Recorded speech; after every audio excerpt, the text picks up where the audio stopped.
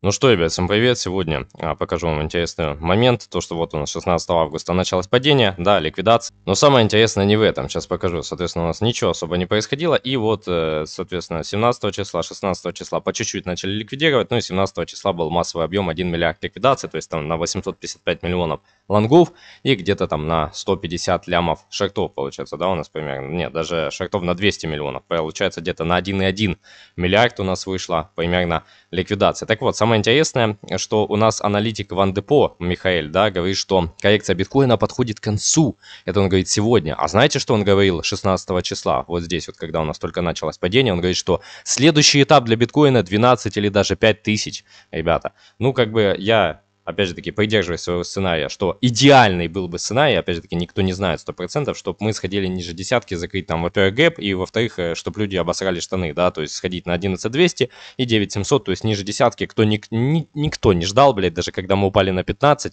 многие ждали, даже если ждали, они там ждали 13, 12, там 10, блядь, но ниже десятки не ждал никто, там ждал, может быть, я не знаю, 0,1% людей если не меньше. Поэтому это был я и, может быть, еще там пару человек на ютубе. Остальные никто абсолютно не ждал, все ждали, что бычий рынок, но пройдено там и так далее. Ниже мы не пойдем, ждите свои там 12-10 там и так далее. Ну, то есть, опять же таки, я ждал 9, 9 тысяч, там 8, может даже. Вот, но большинство говорили, что типа ты ждешь 10, не дождешься. Ну, во-первых, еще не, э, скажем так, э, еще не вечер, да, это первое. Вот, ну, а второе, соответственно, Нужно иметь в виду, что э, как минимум мы можем вернуться хотя бы на те же там 20-15 э, тысяч, это более чем реально, если сейчас подвезут какой-нибудь флеш-кэш, какую-то внезапную там новость, черный лебедь и так далее, я думаю, всем понятно. Так вот, самое интересное, что он говорил об этом, что коррекция биткоина подходит к концу, он говорит сейчас, и достигли ли дна в результате коррекции, или мы ожидаем падения до 20 тысяч долларов. Ну и давайте посмотрим, он говорит, что параллели провел с циклом, конечно же, бычьего рынка 14-18 годов, да, претерпел глубокую коррекцию, ну и, соответственно, обращая внимание на конкретно криптовалютное пространство, упомянул, что продолжающийся конфликт, конечно же, у нас SEC и Grayscale, хотя всем абсолютно, я думаю, без разницы на него. Потенциальный запуск спотового ETF и фьючерсы на эфир. В конечном итоге выразил оптимизм по поводу продолжающейся коррекции, предположив, что шансы, шансы на ее завершение значительны. И он склонялся к более позитивному прогнозу, учитывая резкий сдвиг настроения. К более позитивному прогнозу, ну, блядь, говорил, что, типа, по сути,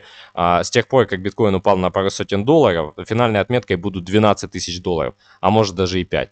Ну, как бы, Забавно это все было слышать, то есть, опять же таки, в прошлом прогнозировал дальнейшее поведение главной крипты, расстроил держателей биткоина. И паники не наблюдается, но, в принципе, заговорили о реальной просадке до такого уровня и даже ниже, вплоть до 5000 долларов. Ну, 5000, я думаю, вряд ли дадут, это очень маловероятно. Но, в принципе, увидеть хотя бы тысяч по 12, по 10, а может даже по 9, это более чем реально. Поэтому, как минимум, все переобуваются на ходу. Как только у нас тут готовится, видимо, какой-то подъемчик, да, либо уже все это выкупают, тогда у нас говорят, что, типа, ребята, бычка, может быть, э, разыграться такая двойная игра, что, типа, сейчас засадят еще больше, потом просадят. Да, что, типа, коррекция закончилась, а потом бэм, еще э, дальнейшая коррекция там тысяч на 20, как минимум, да, а то и на 15, может, даже ниже, да, к примеру. Вот, может быть такой сценарий. Может быть сценарий, что, соответственно, все это действительно уже подготавливает почву к росту и, соответственно, чтобы люди начинали скупать, чтобы не было сильного падения и будет продолжение там с перехаем вот этим локальным. Вот, чтобы там 35 тысяч э, достичь и так далее. Вот, поэтому ну, если паттерн у нас повторится, выходит э, у нас новость, что к концу 2023 года биткоин достигнет 50 тысяч долларов. Это у нас вчера выходит новость, ну, то есть уже бычьи настрои э, постепенно у нас продвигаются.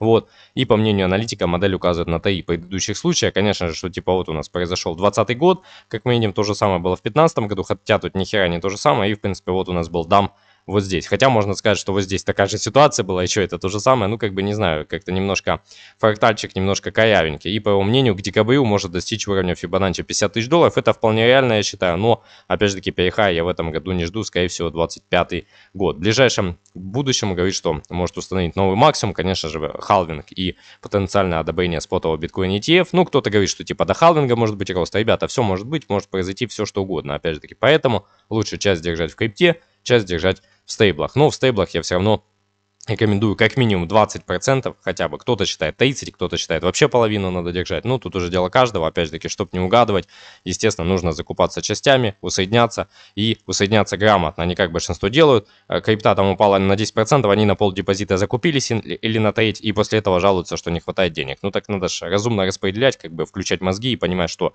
крипта может упасть еще и на 20, и на 15, и на 10, и ниже 10, понимаете? То есть надо распределять капитал по всем монетам и считать, сколько тебе нужно денег. Сможешь ты влить еще извне, либо нет. Если сможешь, окей, можно сейчас доложить больше. Если не сможешь, тогда лучше распределять из тех, что есть. Вот. Естественно, не надо заигрываться в жадность, потому что большинство людей и, э, в принципе, у меня такое возникает, но я умею себя контролировать, это у всех возникает, я более чем уверен, кто там будет вам пиздеть, что типа они там такие хладнокровные на все сто процентов, всегда возникает желание докупиться еще. То есть всегда оно будет, то есть что типа мало, и вот это срабатывать начинает жадность, то есть это эмоции, то есть что надо еще докупиться, а можно еще, а давай еще волью там, а еще можно большим объемом зайти, а вот зайду больше, заработаю столько-то, ну это, ребята, понимаете, а если там, к примеру, а, у вас не будет внешнего источника дохода. Но многие так не думают, многие думают, а, ебать, у меня же там всегда будут бабки, понимаете? И большинство тех, кто так думают, вот просто поголовно, блядь, они все, подчастую теряют, понимаете? Все подчастую абсолютно. Либо остается там а, с меньшим количеством денег, чем могли бы они получить. Поэтому это всегда так происходит. Те, кто надеется, что всегда они будут зарабатывать большие бабки, либо вообще хоть что-либо зарабатывать, да, то есть они приходят по итогу к тому, блядь, что они ни хера не откладывали и по итогу остались с голой задницей. Поэтому, и почему так происходит? Потому что, во-первых, не откладывали, во-вторых, надеялись на случай, что типа вот я всегда буду зарабатывать. Ребят, да не будет такого всегда, особенно в бизнесе, ну не бывает такое. Любой э, бизнесмен, предприниматель вам это подтвердит. То есть неважно, блогер там, то есть всегда. Может быть голяк, никаких заработков, могут быть там минуса по той же крипте, да, там в портфеле, но, соответственно, могут э, не брать рекламу ни в Телеграме, ни в Ютубе там, ни у вас может производство стать там, либо еще что-то. В любом бизнесе, понимаете, может все что угодно. Могут не идти продажи, там, ваш э, тренд твоего бизнеса закончился, и все, и он закрылся, понимаете, и все. Все абсолютно. И у тебя нет внешнего источника дохода. Что ты будешь делать? И большинство людей что будут делать? Продавать, конечно же, крипту в минус. А представьте, крипту опустят хотя бы на те же там 15 тысяч, понимаете, для начала. А если ниже десятки? Да большинство охереют, понимаете. И вообще говорят, что сейчас типа самая продолжительная медвежка у нас. Ну давайте посмотрим. В принципе, у нас, э, если посмотреть, что сейчас идет медвежка, да, ну давайте глянем, если Вообще, я считаю, медвежка отсюда началась. Ну, опять же таки, если брать полностью, ну, как говорят большинство. Ну, мое мнение, медвежка началась вот отсюда. Вот. Потому что, когда мы упали ниже тридцатки, тогда это стало очевидно большинству. Ну, в принципе, медвежка, а, если брать полностью, да, то у нас идет уже полтора года. Если считать вообще вот это все, то мы уже идем чуть ли не третий год практически, там два с половиной. Имейте это в виду. До этого медвежка была не такая длинная. Давайте глянем, сколько она тут была. Вот здесь, если учесть, ну, плюс-минус э, такой же период, может даже чуть меньше. Если учесть еще вот этот, то, соответственно, тоже, да, почти 3 года. Поэтому я не знаю, тут мы стоим 600 дней, тогда мы там с э, дампом 2020 года стояли 800 дней до булрана. Я не знаю, кто там что жалуется, до этого люди сидели и ничего. Ну, досидели единицы, понятное дело, потому что большинства терпения хватает на 2 месяца, а то и 2 недели. Вот, поэтому удивляться нечего. Ну и давайте посмотрим финальные монеты и будем заканчивать. Я надеюсь, такое философское отступление было полезным. Ну, по поводу 1 инча, в принципе, консолидация консолидация наблюдается. Сейчас пытаются сбрить вниз, потому что у нас падает биток. Но, в принципе, некий а, такой боковик у нас на часовике образовался. По поводу Аива давайте посмотрим. То же самое. Боковик. Давайте глянем. Ада Кардана. Что у нас происходит? А по монете Акра, кстати, такой вот большой у нас подъемчик прошел. И, в принципе, кто хотел, можно было мощно на данной монете заработать как минимум уже около там 3 иксов, 3,2 даже икса. Если кто заходил с нами в закрытом клубе, мог бы офигенно зафиксироваться. Ну, а там уже дело, конечно, каждого, потому что большинство людей не готовы ждать, и, в принципе, если вы подождали буквально там месяц, то могли уже забрать хорошенькие иксы по многим монетам, даже там чуть меньше, около 15 иксов мы забрали по многим там монетам, да, они были высокорисковые, но, в принципе, можно было забрать среднесрочную хорошую сделку. Мы трейдингом не занимаемся, это, естественно, инвестиции, если бы они не выстрелили, мы бы холдили их в долгую, поэтому я не буду вам чесать, что, типа, я там такой супер трейдер, и мы там, соответственно, вот так вот рубим капусту. Нет, некоторые монеты придется подождать до булрана. Готовы ждать там год-полтора еще, хотя бы как минимум, а то и два? Окей, welcome. Если нет, ну тогда делать, вам нечего ни в клубе, ни в крипте.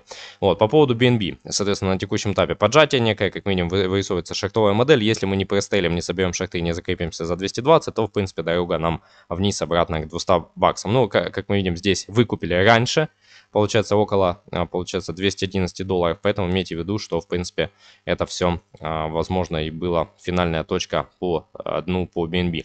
Вот по поводу эфира, как видим, тоже консолидация на одном месте, давайте глянем CRV, что у нас происходит, многие тоже за эту монету переживали, ну и в принципе как минимум у нас вот эта шартовая модель начинает биться, в принципе о чем я говорил, поэтому монета не скам, видно, что его купает, если бы она тупо вот так вот пидорила вниз красными свечами, тогда бы это было похоже на скам, а так на пониженном объеме киты постепенно без палева все это дело выкупают. Ну и давайте глянем наши монеты, которые идут на опережение, Zcash Dash, консолидация на одном месте, в принципе, тоже позитивный сигнал, что относительно, как минимум, локальное дно у нас нащупано. Давайте посмотрим, что у нас по Dash. То же самое, консолидация на месте. Ну, по поводу Monero продолжает расти. В принципе, тут монета такая своеобразная, хаотичная, ходит сама по себе. По Bitcoin Cash уже неоднократно говорил, что жду 120 долларов, а то и ниже. Сейчас заходить рановато, мое мнение. Но если не дадут ниже, то тогда хрен с ней. В принципе, у меня монеты есть, которые я чуть выше покупал, поэтому холдю в долгосрок. По поводу Иуса тоже стоим на одном месте. А, ну и Алгорент наш любимый.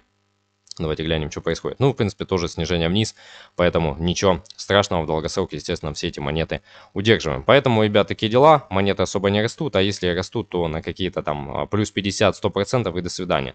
Поэтому никакого, э, никакой динамики там свыше 3 иксов я не замечал. За редким исключением, то есть там 2-2,5 икса, ну 3 икса потолок, но это не бычий рынок, ребят, это просто смех, кором насмех, что называется, да. 39 у нас показывает индекс страха и жадности, доминация USDT, кстати, растет, то есть говорит о том, что киты у нас переливаются частично в а, в эти, в стейблкоины, да, вот, по поводу доминации, мы еще не закрыли вот здесь вот гэпчик, да, который обязательно, я считаю, будет закрыт, потом, соответственно, по доминации эфира. Болтаемся на одном месте, тоже ничего интересного, давайте глянем, доминация BNB, доминация BNB постепенно подрастает, да, несмотря на то, что там вроде бы локальное снижение, доминация у нас всех альтов, как минимум пасти аллигатора здесь тоже не закрыта, но я думаю, это лишь вопрос времени. Вот, поэтому по поводу гэпа по биткоину я уже говорил, что здесь у нас 27200, и в принципе в ближайшее время вполне мы можем его закрыть, как мы делали до этого. Ну, в принципе, посмотрим, у нас еще не закрытый гэп по 20900, в ближайшее время мы не закрыли его, да. Вот, по поводу, соответственно, еще 11200, 9700. Ну, суть даже не столько в гэпах, сколько у нас в той ситуации, которая была до этого, поэтому многие недооценивают, что, в принципе, вот эта паника, которая может быть образована, она может показать очень сильную динамику. Ну и в принципе вот здесь вот у нас был гэп, и который был успешно закрыт, получается, по 3800. Вот здесь тоже образовались у нас гэпчики. И, в принципе, в долгосрочной перспективе, я думаю, вполне возможно показать панику, ну, хотя бы на 20 тысяч, да, финальную какую-то или 15, для того, чтобы толпа уже распродалась окончательно. В принципе, что она и так уже сделала. Ну, а представьте, альты упадут еще сильнее.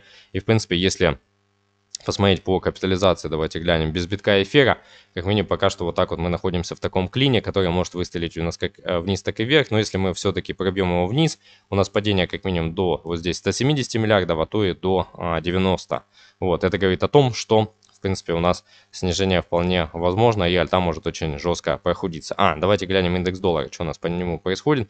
Продолжает расти, то есть говорит о том, что фонда у нас, по идее, должна снижаться.